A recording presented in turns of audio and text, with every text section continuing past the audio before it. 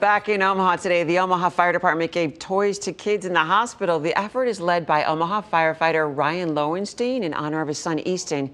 He passed away in 2008.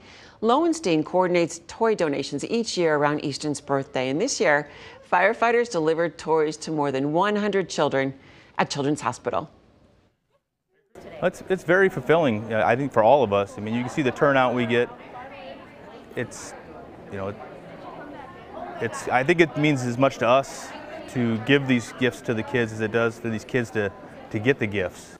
Sweet Memorial. Lowenstein says they couldn't do, out, do it without the overwhelming generosity of folks in Omaha for the past 12 years.